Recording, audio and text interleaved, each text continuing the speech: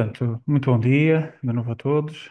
Eh, muito obrigado por se juntarem, eh, a este webinar que decorre na Semana do Acesso Aberto, uma semana internacional que é dedicada, eh, aqui a estes tópicos que estão em torno do acesso aberto, a ciência aberta.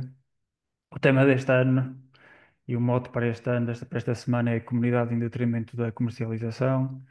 Por certo que irão ver uma série de iniciativas que decorrem tanto a nível nacional, por várias institui- instituições, como a nível nacional. Eh, portanto, nós também nos juntamos a esta iniciativa, eh, e vamos conduzir este webinar sobre o repositório de dados da Universidade do Minho, o Data Repositório, destacando muito aquilo que o repositório pode apoiar os investigadores hum, nas suas atividades de, gestão de dados de, de- de investigação. Esta é a nossa agenda. Nós não vamos seguir necessariamente estes tópicos, mas os, os- os temas principais são estes. Portanto, antes mesmo de começarmos a apresentar o repositório, que funcionalidade- que funcionalidades é que ele tem, vamos começar por eh, fazer uma breve contextualização. Onde é que o serviço do Data Repositório se situa, eh, no contexto das atividades de gestão de, de dados de investigação? O que é que vai apoiar e em que fase? Eh, e então, depois vamos apresentar as várias funcionalidades, dar casos e exemplos práticos de como é que pode apoiar e o que é que oferece. Ahm, depois também iremos apresentar um conjunto de boas práticas que devem acompanhar a utilização do Data Repository e acompanhar eh, a preparação dos dados para, para a publicação e para a partilha. E por fim, eh, havendo aqui também algum tempo, eh, nesta, neste intervalo de uma hora, eh, fazer uma breve demonstração da ferramenta para que possam visualizar em loco, digamos assim, como um caso de demonstração, aquelas que são as funcionalidades principais. E antes de avançarmos, gostaríamos de saber um pouco sobre o que é que diz a vossa experiência. eh, no que diz respeito às standards de investigação, se conhecem o repositório de dados, se habitualmente já depositam os dados. Por isso, eu agora passo aqui a palavra à nossa colega Paula Moura, que irá lançar aqui um conjunto de questões, eh, porque não há questões nem corretas nem erradas, é apenas para darem a vossa, a vossa experiência e para ficarmos a saber um pouco mais sobre aquilo que vocês já fazem com os vossos dados. Sim, olá, bom dia e bem-vindos a este webinar. Ahm, eu julgo que vocês co- conseguem ver a minha, o ecrã e podem apontar o vosso telemóvel aqui para o- acederem a menti.com e ou apontar a tela- o vosso telemóvel aqui para este QR Code, ahm, que é para começarmos duas ou três perguntas, só para saber um pouquinho, um pouco mais sobre a, a plateia que está aqui hoje. Já temos quatro pessoas aqui, cinco. Eu vou avançando. A primeira pergunta é o que faço na UEM.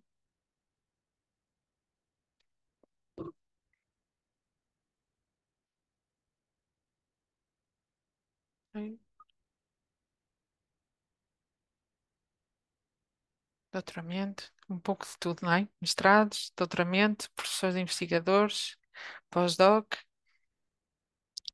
Aguardamos aqui mais um pouco. Temos 12 respostas. Não sei se mais querem juntar. O código está sempre em cima da tela, se vocês repararem. Se forem a menti.com, basta colocar o código 86 70 48 99. Ok. Professores investigadores, mestrados e doutoramentos e dois pós-doc.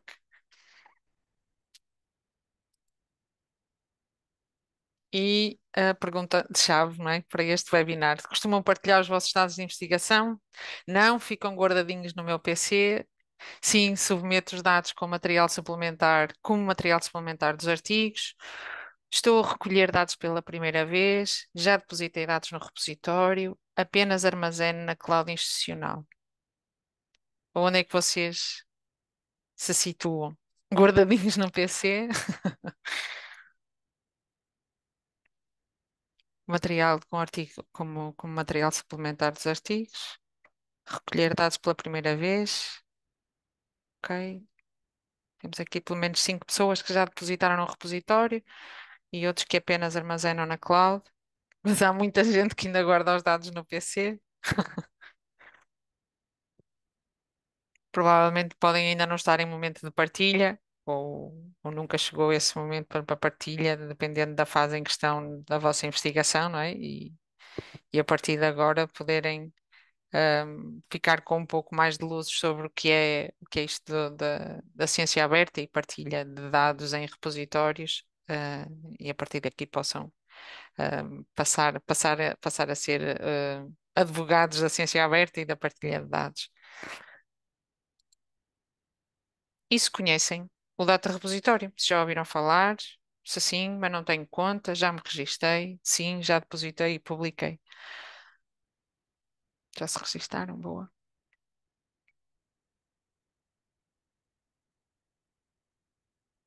Há quem já tenha publicado. Boa.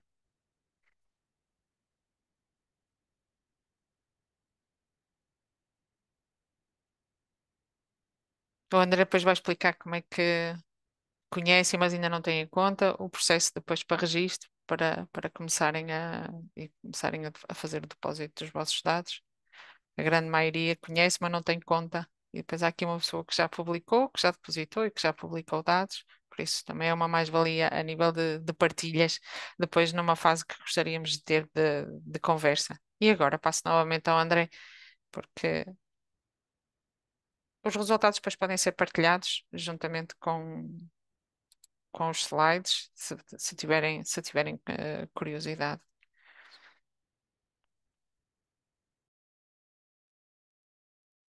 Ok, muito bem. Obrigado pela vossa partilha. Ahm, assim também ficamos a saber um pouco mais sobre a, a- a vossa experiência. ahm, e, e também no final podemos aqui mostrar como então como criar a conta e como dar os primeiros passos no serviço para que possam passar a, a- ser utilizadores ativos aqui do serviço, assim esperamos, e que possa dar a resposta àquilo que vocês necessitam para apoiar as vossas atividades de partilha de- dos dados de investigação. Portanto, antes de, de avançarmos com a apresentação do serviço, vamos fazer uma breve contextualização aqui sobre do que é que falamos. ah, quando, quando estamos, digamos, no, no contexto de- da ciência aberta, é, é que é sempre ne- necessário eh, situarmos-nos, eh, quando falamos de estandados de investigação, estamos a falar de estandados quando vocês estão no vosso processo de investigação, da análise, do processamento, depois do armazenamento, ou estamos a falar do momento da, da- da abertura e da partilha. Pronto, é aqui que nós estamos eh, focados agora nesta sessão. Um, e vamos estar aqui neste contexto da partilha, da abertura dos dados e no contexto da ciência aberta, seguindo aqui um conjunto de, de boas práticas que já vão sendo apresentadas pela comunidade, uh, por várias instituições e também por entidades de- que financiam as atividades de, de- de investigação. E, portanto, aqui neste contexto da ciência aberta, falamos da partilha dos dados de investigação, um, que não, não, não pressupõe que todos os dados sejam abertos, por exemplo. Eh, há um conjunto de possibilidades que nós, que nós poderemos utilizar para proteger os nossos dados, por exemplo, e o repositório também oferece isso. A atribuição de licenças, que vão indicar os outros, os outros utilizadores como é que eles podem reutilizar os nossos dados. E a abertura do- dos dados.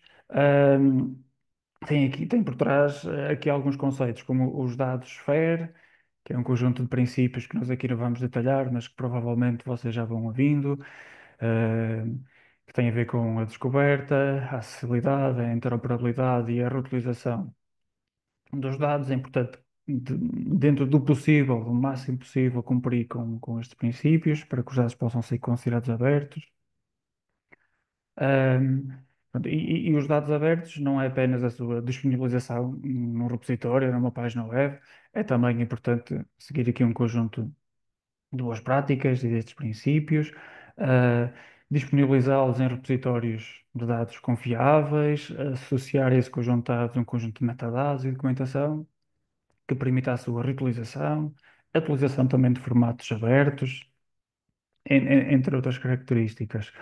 Ahm, e, portanto, quando falamos da partilha da abertura, é muito importante também saber os locais adequados para, para a sua publicação e depósito.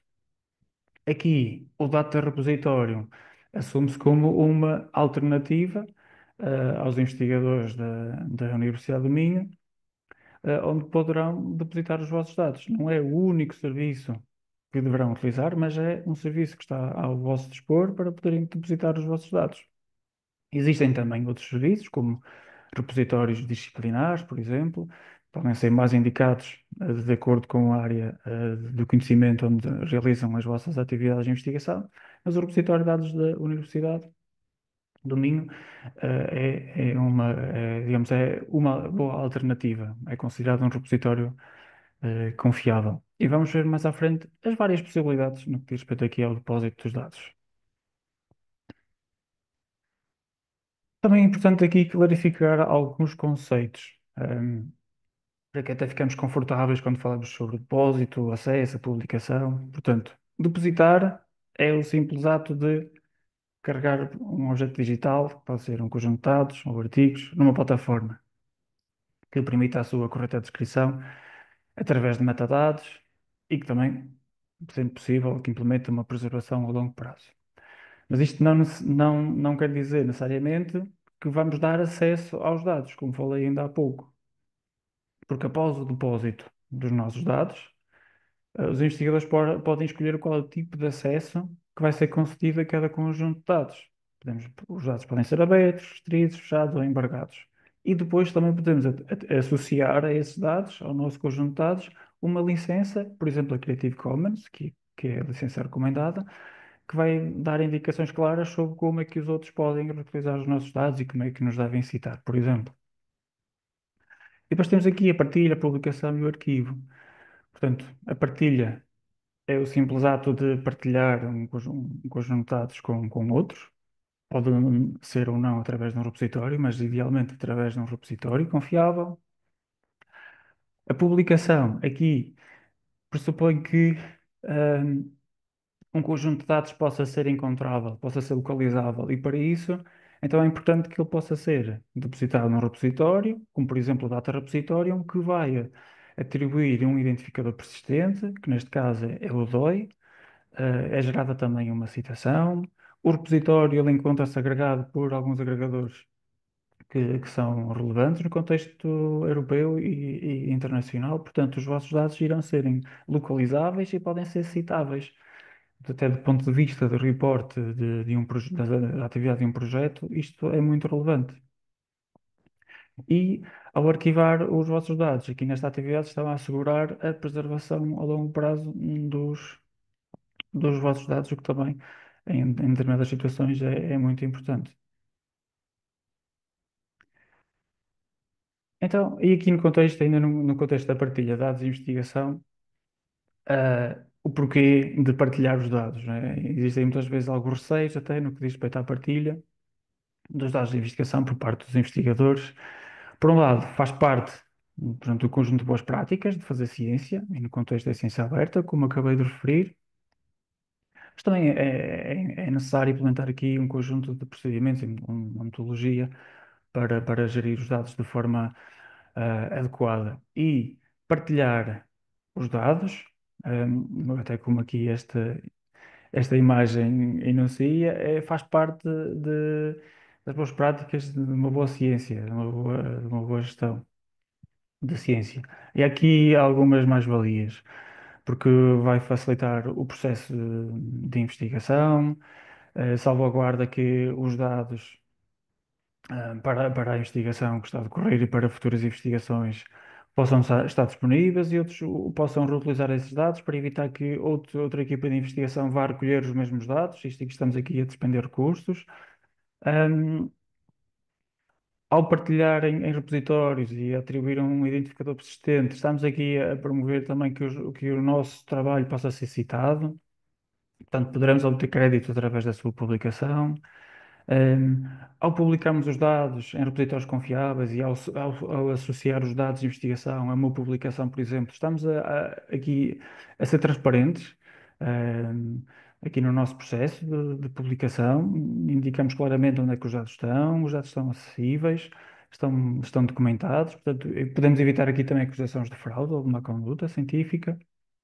E, em grande medida, também conseguimos cumprir com alguns dos requisitos dos financiadores, que já vão dando indicação de que os conjuntos de dados que apoiam as publicações, as conclusões eh, po- eh, que são publicadas, eh, poderão ser acompanhadas e comprovadas com os dados de investigação e que sejam publicados em repositórios confiáveis, com a indicação de metadados que possam descrever e documentar corretamente os dados, com a indicação do, do programa de financiamento, entre, entre outros. Ok? Portanto, aqui uma série de mais-valias associadas. E neste contexto dos financiadores, este dispositivo serve para reforçar que já há um grande número de financiadores e até de editores que já vão dando, ahm, dando e apresentando e requerendo ah, práticas muito uh, já objetivas no que diz respeito à gestão de dados de, de investigação, solicitando, ahm, como já enunciei aqui, algumas práticas. Por exemplo, o depósito e a partilha dos dados em repositórios confiáveis. Portanto, aqui o Data Repositório é um, um serviço que pode apoiar a vossa atividade de investigação de forma muito direta. Quando, por exemplo, têm que preparar um plano de dados, se for o caso, se o, o- financiador da vossa investigação assim o, o exigir, poderão indicar que irão utilizar o repositório de dados institucional, o Data Repositório, para apoiar esta atividade do depósito e da partilha eh, dos dados e que oferece uma série de funcionalidades, como por exemplo a utilização de metadados, a documentação dos dados. Isto é um conjunto de mais-valias que o repositório oferece para apoiar o cumprimento destes requisitos. Aqui a gente de exemplo ficam apenas requisitos aqui da, por exemplo, da Comissão Europeia, no, no quadro do Horizonte Europa, que já apresenta aqui um conjunto de requisitos muito particulares para as standards de investigação, em que um deles é a abertura dos dados através da sua publicação num repositório. A sua disponibilização ao abrigo das licenças Creative Commons, que o repositório também apoia. Eh, Os dados devem ser tão abertos quanto possível, tão fechados quanto necessário, ou seja, é importante que os dados sejam publicados, mas há aqui uma- um conjunto de, de situações em que obrigam a que os dados não sejam abertos e os financiadores não obrigam a que todos os dados sejam abertos. Por exemplo, se os nossos dados tiverem dados sensíveis ou se, se estiverem protegidos por algum interesse comercial, entre outros detalhes que possam estar associados aos dados, os nossos dados podem ser disponibilizados, digamos assim, num repositório, os metadados que descrevem esse conjunto de dados, mas os dados em si podem ficar em acesso restrito para salvaguardar estas questões. Portanto, aqui o Data Repositório também apoia eh, estas, estas questões. Aqui também para, para suportar esta ideia de que os financiadores estão cada vez mais a indicar estes requisitos. Temos também a Fundação La Caixa, que é um financiador que já vai assumindo também alguma relevância aqui no contexto nacional e não só, mas aqui no contexto português já vai, já vai apoiando uma série de projetos. E a Fundação La Caixa também, muito em linha com os requisitos da Comissão Europeia, também já apresenta aqui um conjunto de requisitos para as estándares de investigação, como por exemplo também a publicação em repositórios confiáveis, a atribuição de licenças, o tão aberto quanto possível, tão fechado quanto, necessário, entre outros requisitos. E portanto aqui é importante fi- ficarem com esta noção. Eu acredito que já muitos de vocês já o teriam, mas aproveitamos para recordar e ficarem com a ideia de que o, o Data Repositório apoia o cumprimento em parte o cumprimento destes requisitos. Portanto, tenham em consideração este serviço para apoiar eh, as vossas atividades nesse sentido. Portanto, e aqui para reforçar um pouco mais aqui a questão, aqui aquilo que está por trás e, e as mais-valias da publicação dos dados, elas vão, para além de assegurar o cumprimento de requisitos e as boas práticas de ciência aberta, elas asseguram, estas atividades asseguram que os vossos dados também tenham um papel mais proeminente, além das publicações, que era, que era isto que nós estávamos muito habituados nos últimos anos, nas últimas décadas, a publicação é que tem um impacto maior, mas ao partilharmos os nossos dados, ao disponibil- ao disponibilizá-los em repositórios confiáveis, em associá-los às publicações, estamos a dar aqui um papel mais importante aos dados. Eh, através da sua publicação, correta documentação, ehm, esta associação dos dados das publicações, como já referi, e também a possibilidade de, de organizar os resultados de um projeto de investigação em coleções organizadas, que é algo que o Data Repository também oferece. É é um serviço bastante flexível no que diz respeito à sua organização e, portanto, oferece a possibilidade de criar coleções específicas para projetos e, e até com algum nível de personalização, como vamos ver um pouco mais à frente. No entanto, para além de todas estas boas práticas, aquilo que os, que os, que os financiadores eh, vão recomendando ou exigindo, hum, há um conjunto de barreiras ou desafios, eh, ou receios que os investidores sentem para disponibilizarem os seus dados.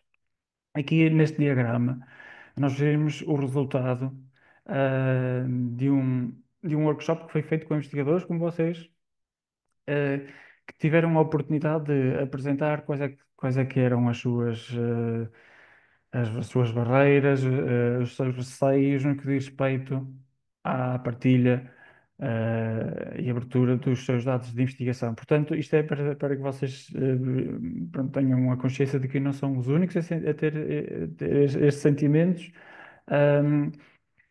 Este diagrama aqui representa, digamos, as principais barreiras ou receios que os investigadores identificaram, que estão aqui categorizadas em, em três grandes grupos. As preocupações com a reutilização, a falta de incentivos e barreiras ao conhecimento. E, para, e depois, para acompanhar essas, essas barreiras, são apresentadas soluções. Na prática, é que está abaixo logo da, da, da barreira. Por exemplo, a falta de tempo é, é uma das dificuldades. A existência de conteúdos sensíveis também é, outros, é outro dos, dos receios que os investigadores têm. Portanto, e depois, acompanhado, temos uma solução. Por exemplo, se, se nós possuirmos dados sensíveis, então devemos tentar aplicar aqui algumas regras de anonimização aos nossos dados para que os possamos então disponibilizar. Ou então associar uma licença restrita para que esses dados estejam protegidos. Uh, também, muitas vezes, vêm estas tarefas com mais uma carga de trabalho, digamos assim, o volume imenso de trabalho que os investigadores já têm. Mas há aqui um conjunto de procedimentos que, se forem uh, tidos em conta desde o início, como, por exemplo, uh, o planeamento das standards, com um plano de standards, com a elaboração de um plano de standards, uh, a gestão deste processo pode ser mais, mais fluida, digamos assim, ao longo do, do ciclo de vida do, da gestão do projeto. Depois poderão consultar este documento, temos aqui a ligação para a sua versão completa.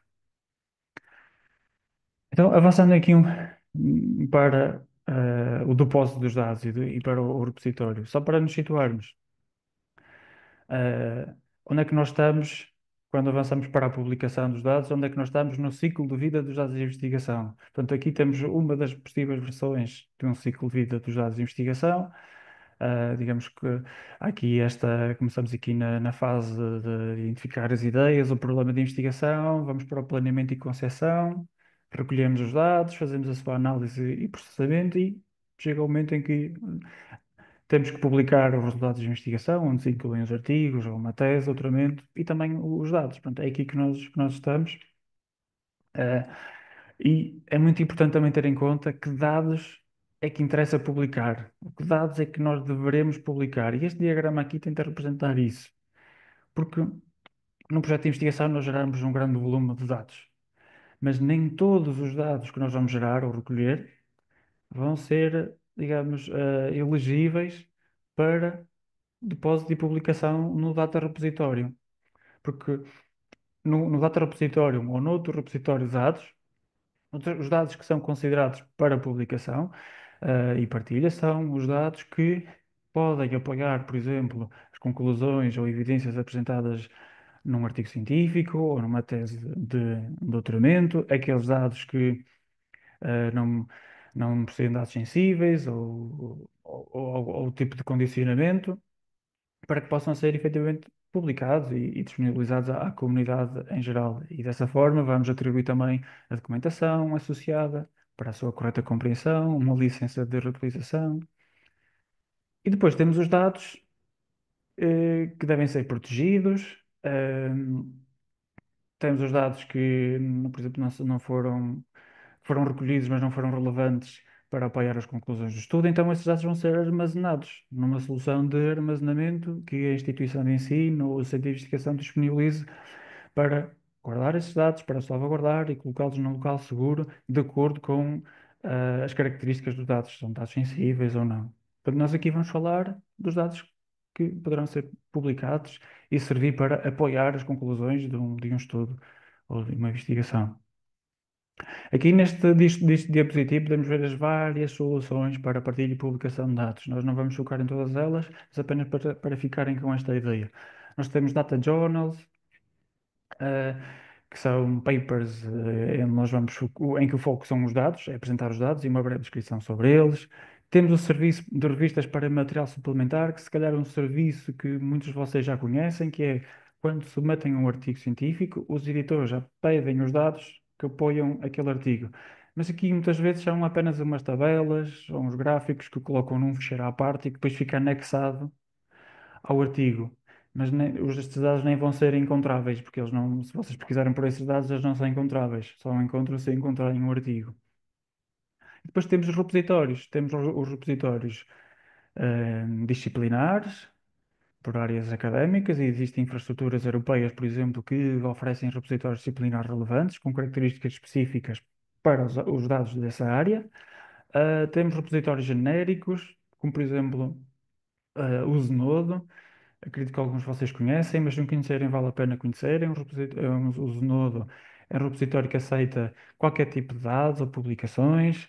É um repositório europeu, está baseado no CERN eh, e, portanto, permite depósito de dados. Tem algumas limitações no que diz respeito ao volume, tem um máximo de 50 gigas por depósito, mas atribui também um identificador persistente e é agregado nos agregadores globais. Eh, E os repositórios institucionais, como é o caso do repositório dados da, da UMIN, o Data Repositório, que vamos agora passar a, a falar um pouco mais sobre as suas eh, características.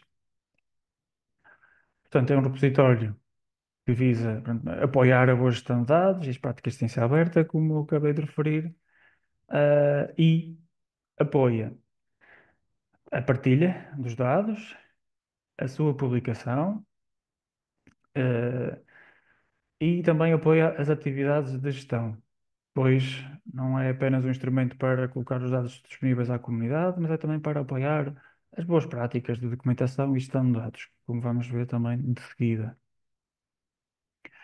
É considerado um repositório confiável, porque se encontra registado em diretórios globais, como é o caso do Free Data e do Fair Sharing, que são diretórios onde nós podemos encontrar repositórios de dados a nível global e os repositórios que aqui estão listados, digamos, são validados para que possam figurar aqui nestas, eh, nestes diretórios.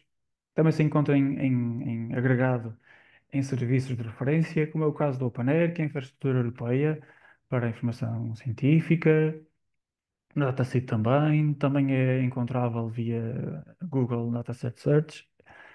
E eh, encontra-se em processo de, de certificação de confiabilidade, que é o Core Trust Seal, que apresenta um conjunto de requisitos que, após verificação do seu cumprimento, at- atesta, digamos, é, é um, é um adicional. Face àquilo que o repositório já tem, é um adicional de garante que eh, o repositório cumpre com um conjunto de 16 requisitos que asseguram que efetivamente o, o repositório é confiável.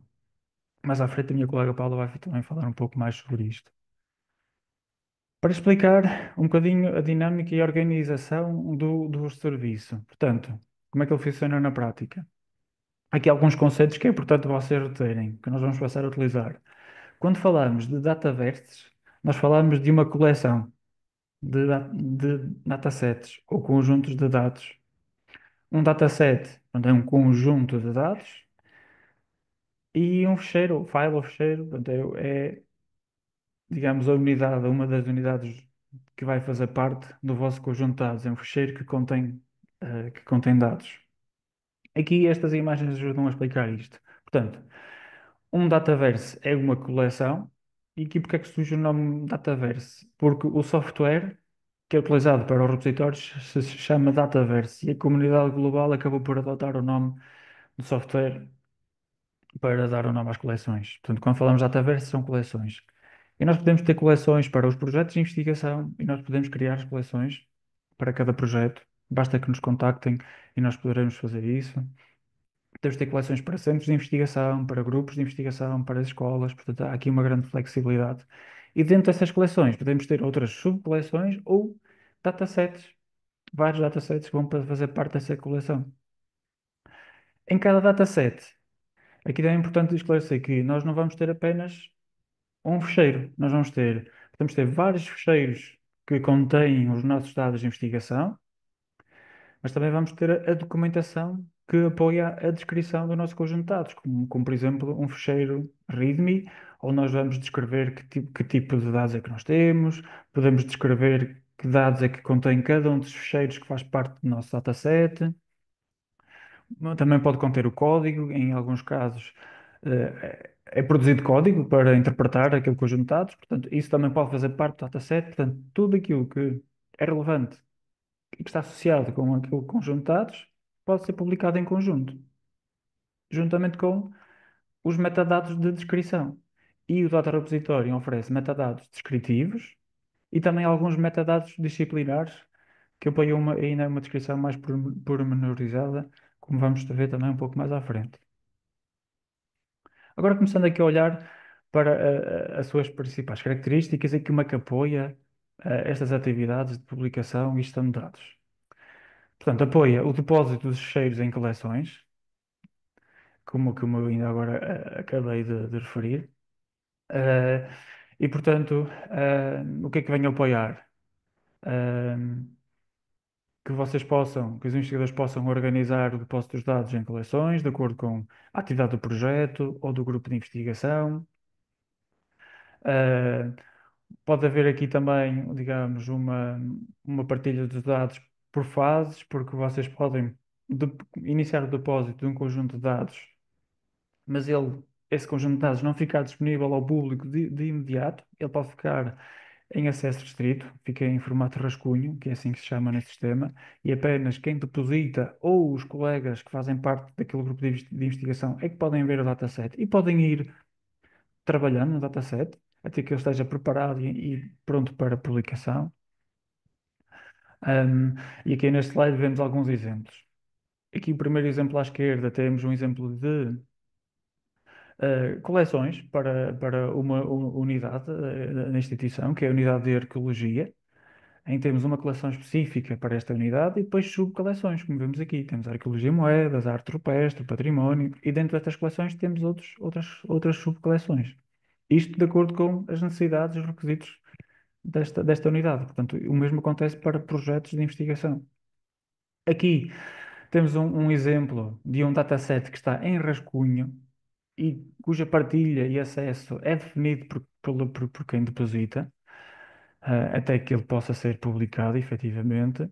E também aqui é esta indicação de que, quando nós publicamos um dataset, poderemos ter ficheiros que estão em acesso restrito, como é este exemplo aqui.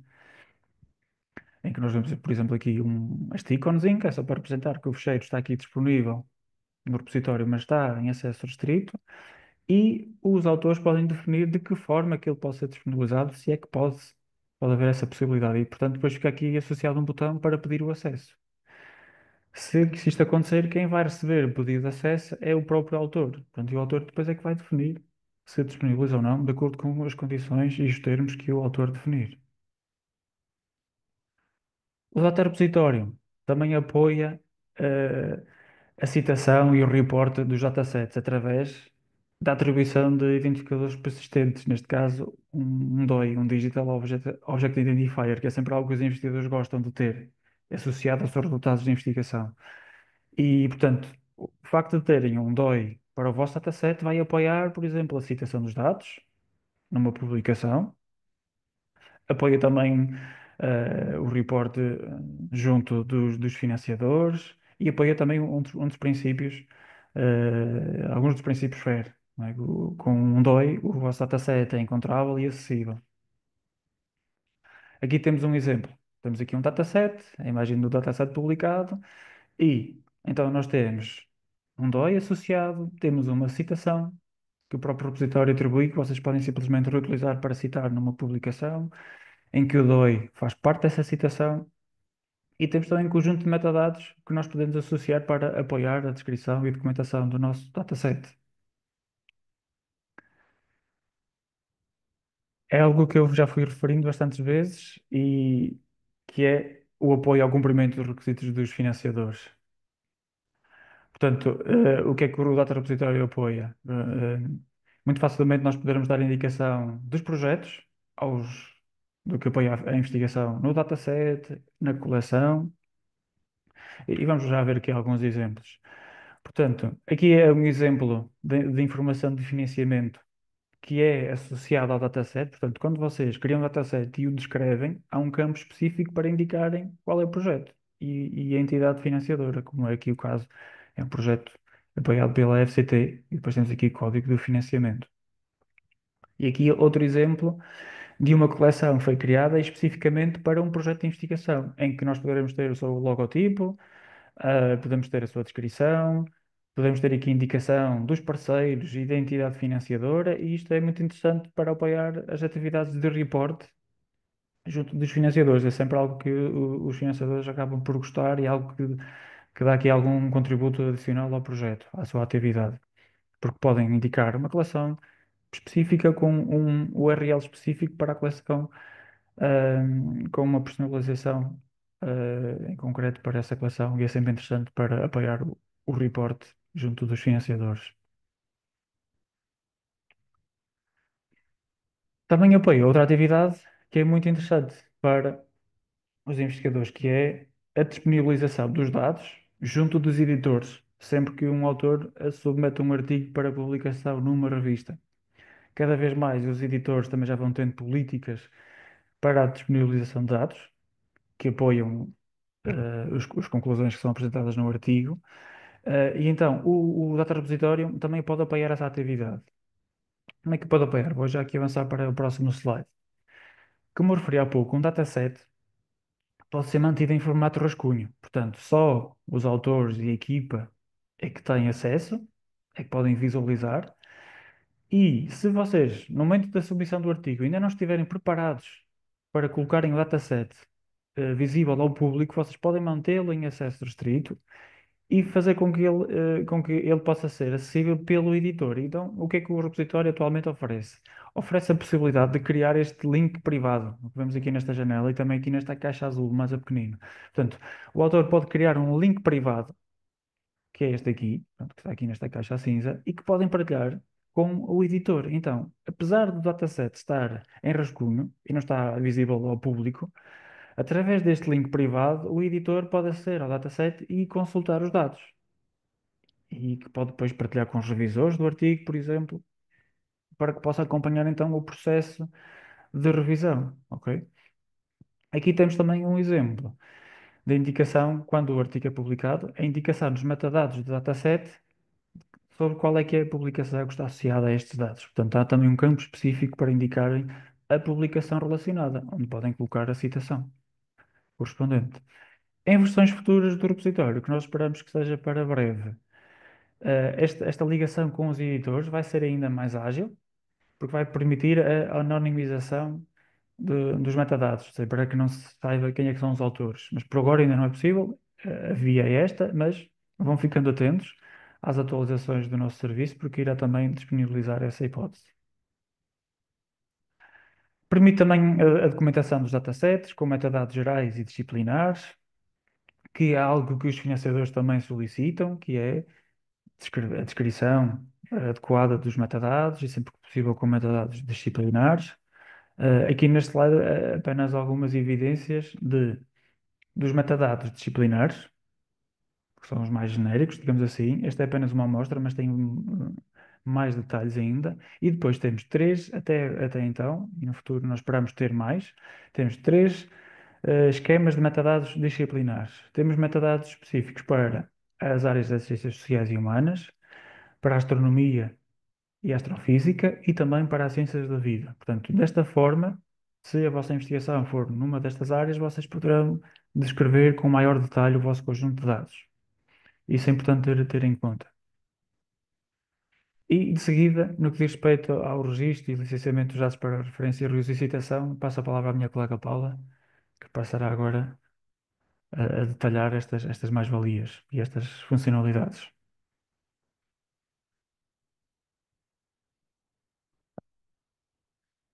que o repositório também apoia, digamos assim, a atribuição de licenças aos dados que publicam. Sim, sim, André, estou aqui. Deixa-me só. Peço desculpa.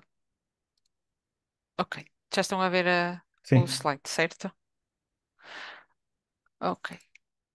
Ahm, pronto, seguindo, a apresentação das mais-valias associadas ao uso do Data Repositório, pronto, aqui evidenciamos aspectos relacionados com a atribuição de licenças aos conjuntos de dados, ah, que por um lado indicam de forma clara como os outros ah, pretendem usar os nossos dados. ahm, e como deverão usar ah, e, e referenciar ah, de igual forma.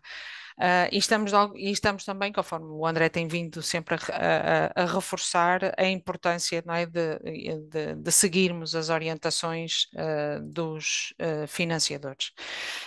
o que aqui temos é em que momento é que isto acontece no data repositório, o André também já foi falando, existe não, uma área específica nos termos de uso, onde nós vamos fazer a, a integração uh, das licenças Creative Commons uh, e igualmente uh, também ao nível do, do próprio ficheiro, onde também podemos fazer isso. na imagem aqui da direita é só um print screen de um, do ficheiro TXT, do ficheiro README, onde existe também a menção direta a, onde, às licenças que também colocamos para o, o utilizador e é um ficheiro, este ficheiro README tem a vantagem que é o ficheiro que vai sempre acompanhar o conjunto de dados uh, quando se faz, quando, quando eles estão disponíveis para, para, para download no, no repositório.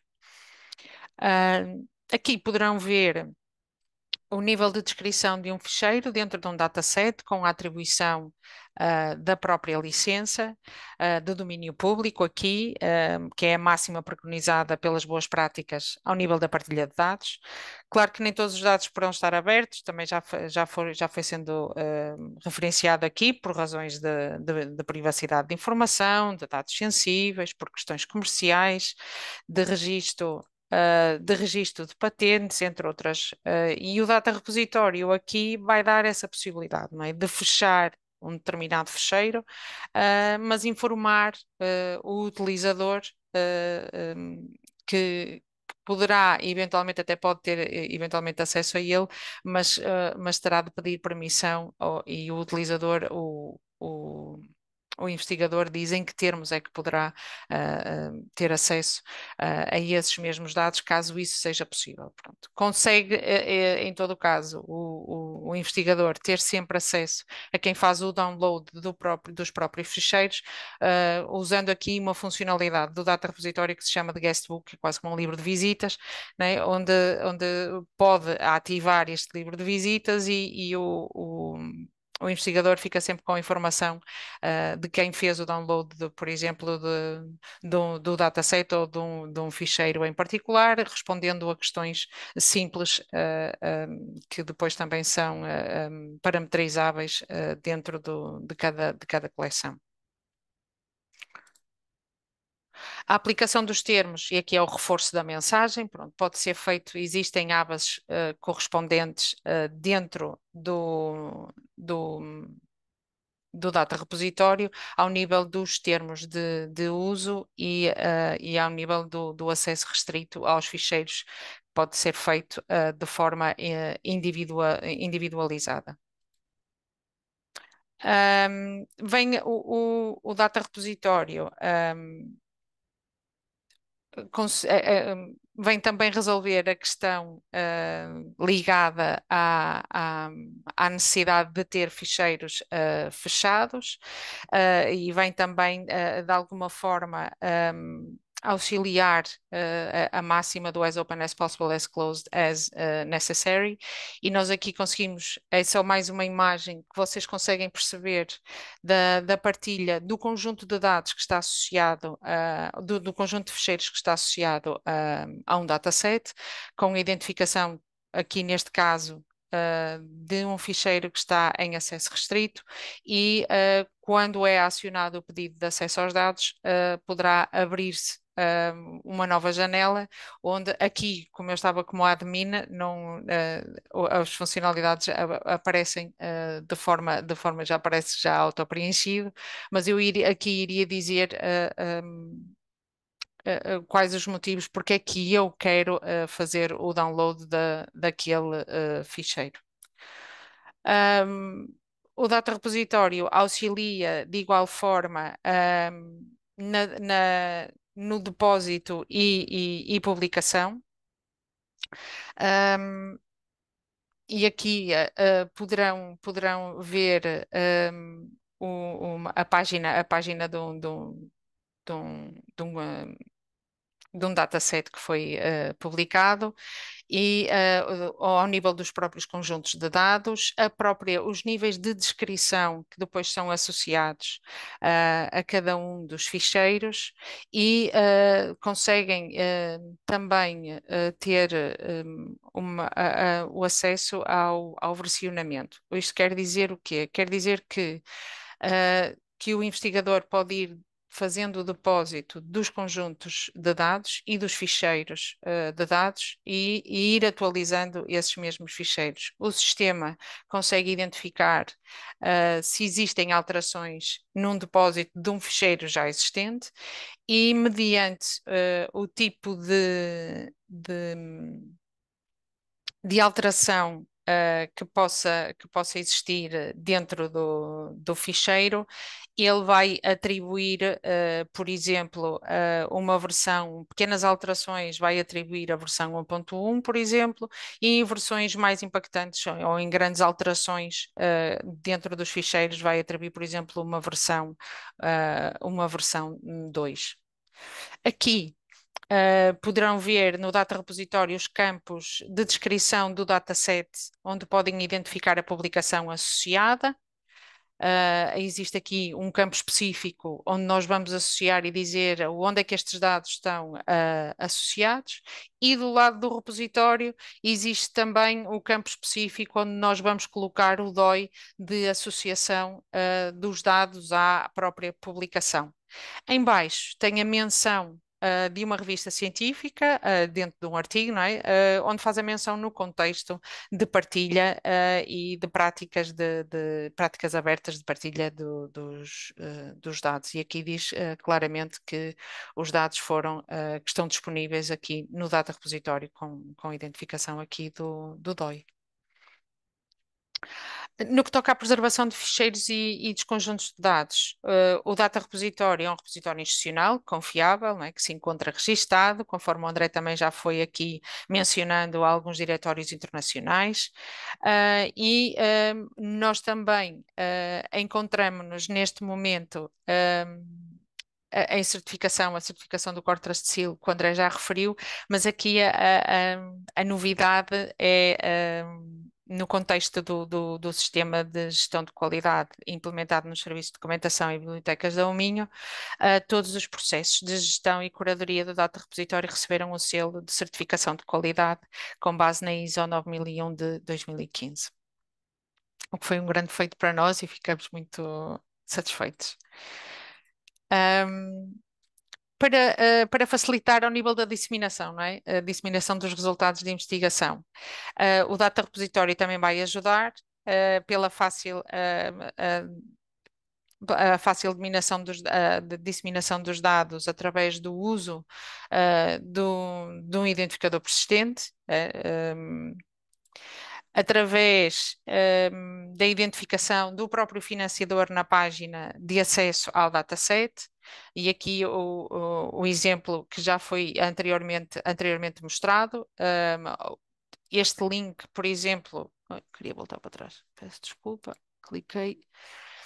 Um, vimos o, o, a identificação, a identificação do projeto, o URL, uh, que é um URL dedicado que pode, que, do, do, do, conjunto de dados que pode ser facilmente partilhado com o financiador, em contexto de, de de reporting, inclusivamente colocado no plano de gestão de dados, onde claramente vão indicar a infraestrutura que vão usar para depositar uh, os, os vossos dados.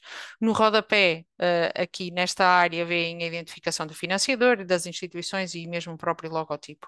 Aqui, só reforçar, não é, que vocês já viram também a identificação nos campos descritivos do conjunto de dados, onde vocês mencionam uh, de forma clara o, o, o próprio uh, financiador. No contexto da disseminação uh, uh, e comunicação dos, do, dos, dos, resultados, o repositório também dá a possibilidade de vocês terem acesso a dados estatísticos que, que, também acabam por ser relevantes não é, neste processo de, de, de de associação dos, dos dados, dos dados à, à, às próprias publicações.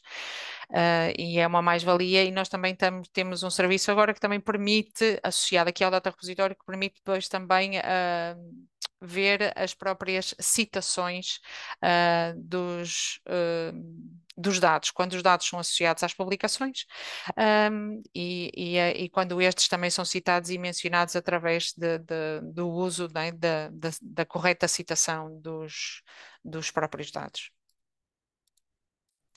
Tantas razões que existem para ter boas práticas de ciência e para partilhar uh, os dados de investigação uh, em repositórios confiáveis, como o Data uh, Repositório. E provavelmente vocês também encontrarão outras razões e que poderão também partilhar essas razões connosco. Ficam aqui estas 10, só para vocês terem outros exemplos. O Data Repositório é assim, é uma ferramenta que vos vai auxiliar na gestão e partilha e, e a ter boas práticas de ciência aberta. Existe um serviço, um, o Data Repositório tem desenvolvido um, uma malha de serviços que visam, por um lado, um, auxiliar no melhor uso da ferramenta, materiais de suporte, guias, boletins, vídeos, tutoriais, checklists, na disseminação uh, do serviço e melhores práticas de ciência aberta, uh, com a realização de escolas de invernos de, de, para gestão de dados e a escola de verão de, de ciência aberta, a realização de webinars como este que está aqui a acontecer e a apresentação do próprio Data Repositório nas unidades de investigação e nas escolas e centros de investigação da da universidade com os, os roadshows. No apoio aos utilizadores um, e no apoio ao depósito dos dados, também, um, também o fazemos junto com, com, com os utilizadores e com os investigadores na curadoria das coleções, na curadoria dos datasets e dos próprios ficheiros, até termos uh, todo o conjunto de dados uh, pronto para ser uh, partilhado com, com o mundo. Temos também ao vosso dispor um serviço de helpdesk uh, onde damos apoio por e-mail a todos os utilizadores do Data Repositório uh, e não só, é? fazemos com agendamento de, com reuniões de esclarecimento, sejam uh, online ou via digital ou mesmo até presenciais. O que quero dar aqui, uma das ferramentas que nós desenvolvemos foi uh, uma checklist que auxilia o, o, o investigador uh, e o utilizador do Data Repositório, uh, por um lado, antes de fazer o depósito, a preparar os seus dados, a organizar os ficheiros em pastas, na atribuição de nomes, na utilização de, de formatos normalizados, a criação do tal ficheiro README, que é quase como um bilhete de entidade que acompanha o vosso conjunto de dados uh, e reunir os metadados, ou seja, toda a informação descritiva que depois vai acompanhar em cada campo específico dentro do uh, repositório. No que diz respeito ao depósito e à publicação, depois todos os passos que têm de percorrer até à publicação, desde o registro, uh, ao certificar uh, a coleção correta onde vai fazer o depósito, não é?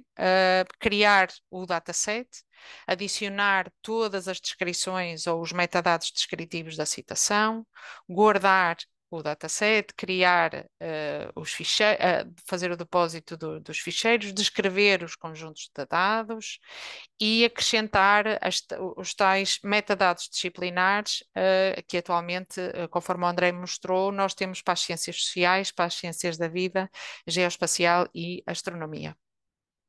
Vamos carregar os ficheiros, definir os termos de uso, lá está conforme já falamos, e de que forma é que lhes vamos dar acesso. Podemos fazer isto de ficheiro a ficheiro, como já vimos, publicar, e depois, quando tivermos toda a informação uh, associada ao conjunto de dados um, descrita e finalizada, vamos publicar uh, o conjunto de dados ou enviamos para revisão. Neste caso, os revisores poderão, poderão sermos nós, ou então, por exemplo, os curadores, outros curadores dentro das unidades de investigação, se existirem uh, na vossa unidade de investigação. O Data Repositório um, tem uma área específica onde temos esta informação toda reunida um, eh, que vocês podem, que vocês podem pesquisar e o André até pode partilhar aí o link, por favor, que é para eu não estar a, a, a demorar mais, mais, mais tempo, estamos quase em cima da hora.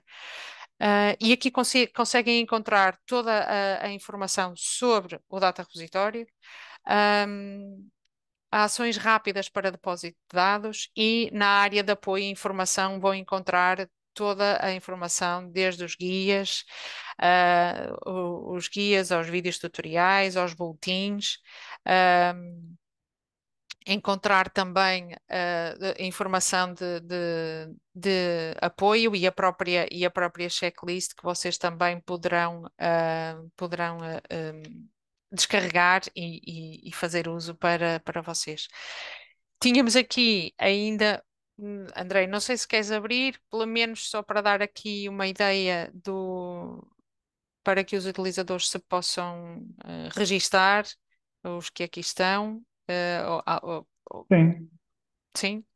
eu, Ok, eu, eu vou só aqui para completar uma resposta que estou a dar aqui no chat, ok. muito brevemente, que tem a ver com os formatos de fecheiros. E já agora também recomendo que possam os tantos colegas consultar essa, essa informação sobre os formatos de fecheiros, que é, que é importante e que é sobre aquilo que nós falamos há pouco, sobre a, a utilização de formatos abertos. Sim. E nós demos, nós uh, apresentamos um webinar no início deste ano onde demos uma informação mais detalhada ao nível da gestão e da partilha uh, dos dados. Um, e tencionamos também fazer uh, brevemente e, e, para o ano também teremos a escola, a escola de inverno. Ok, avançando aqui com a partilha da ecrã muito rapidamente. E, poderão ir colocando mais questões também no chat. E, e se, se tivermos um, um ou dois minutos no fim, podermos responder, ou a minha colega Paula também poderá, também poderá ir respondendo no chat. Eu agora não sei porque estou aqui com alguma dificuldade em partilhar o ecrã, porque não vejo a opção, já vi.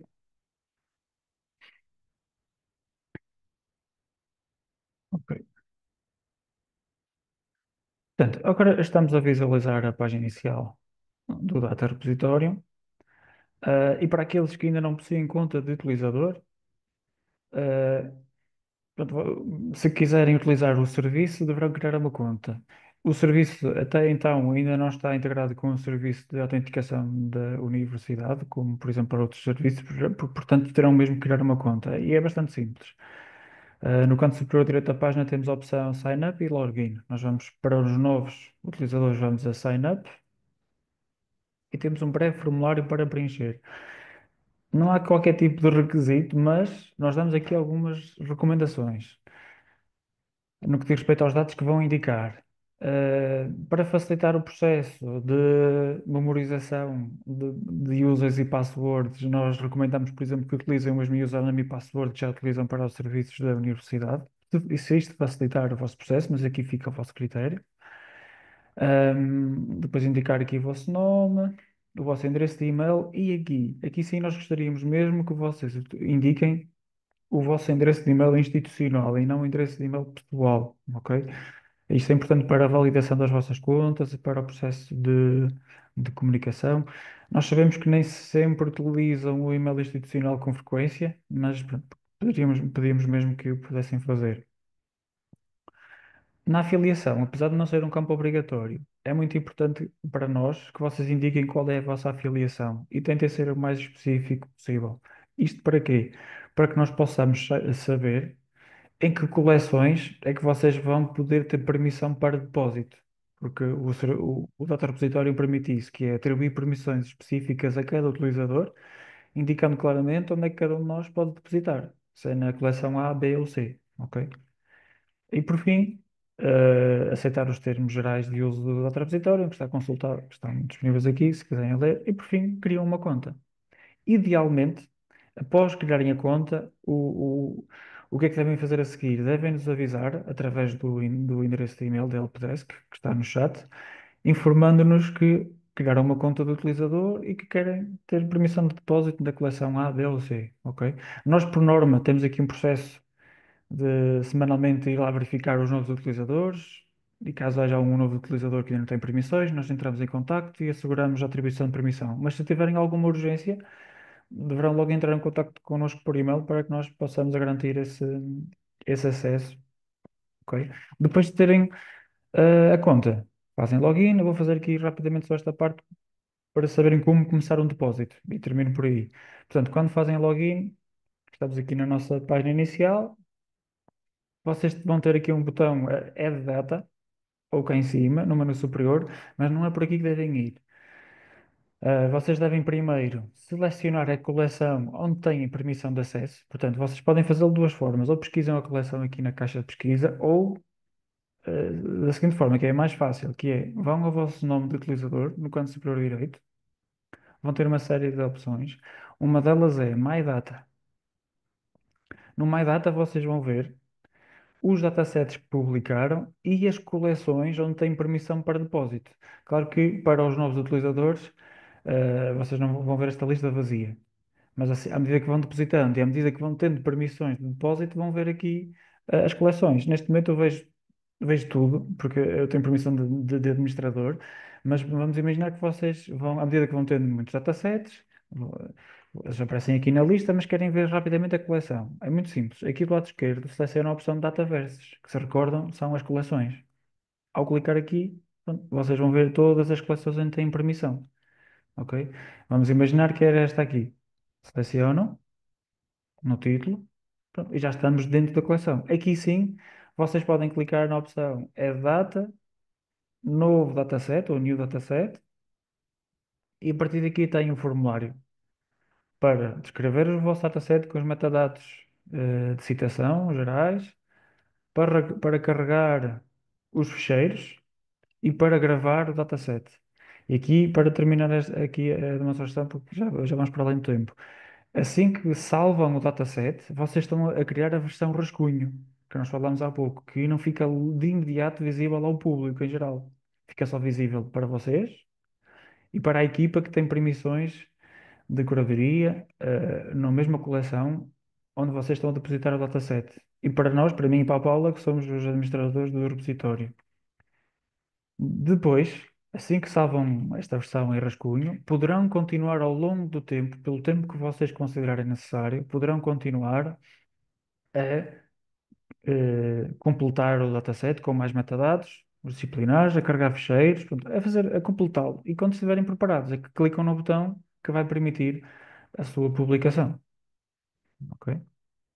Eu diria que iria por aqui. Não sei se valerá a pena destacar algo mais, Paula, ou se há aqui alguma questão também no chat. Não.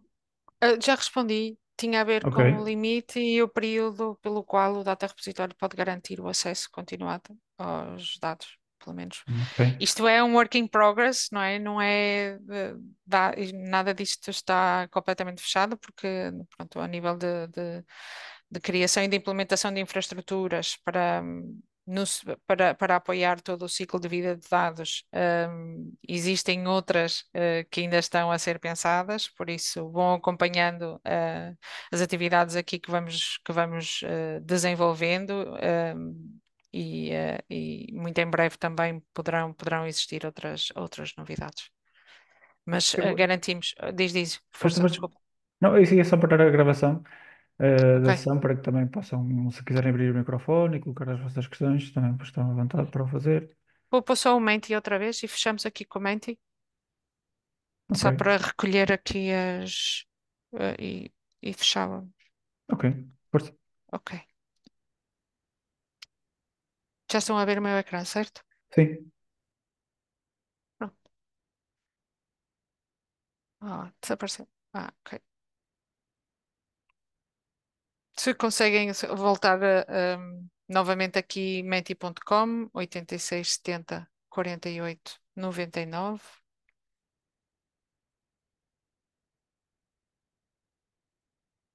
E uh, depois da, da exposição que, que fizemos aqui, se conseguem apontar algumas vantagens para a publicação dos, dos vossos dados de, de investigação.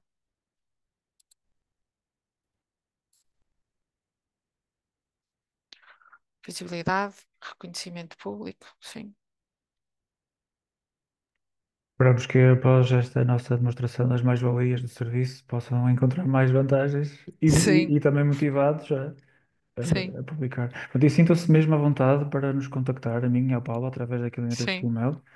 Ah, dúvidas que possam ter, ah, na utilização do Partilhar com os serviço, como editores. carregar o- os cheiros, formato, tamanho, pronto, seja o que for, estejam mesmo à vontade para nos contactar. Sim, e, e mesmo se, se considerem que seja positivo e, uma mais-valia para vosso, para a vossa unidade de investigação, onde estão a desenvolver a, a vossa investigação, ahm, se o Data Repository ainda não foi ao vosso espaço, ahm, para apresentar o, o- se nós contactem-nos, ah, pelo, pelo nosso e-mail, datarepositorio.usdb.pt e, e nós talvez possamos agendar eh, um- uma ida ao vosso centro e à vossa unidade de investigação para apresentar o repositório de dados da, da universidade. Já temos aqui algumas respostas: transparência da investigação, rentabilização dos dados, eh, partilha com os editores, ciência transparente e reprodutível, reutilização para a investigação com fiabilidade, transparência, rapidez de acesso à informação, financiamento, ok? Só mais uma pergunta. O que é que levam daqui? O que é que levam desta sessão? Eu não sei, André, eu acho que os slides, nós vamos enviar depois os, os, os slides, terão acesso aos slides onde tem todas as, tem toda a informação e mesmo os nossos contactos.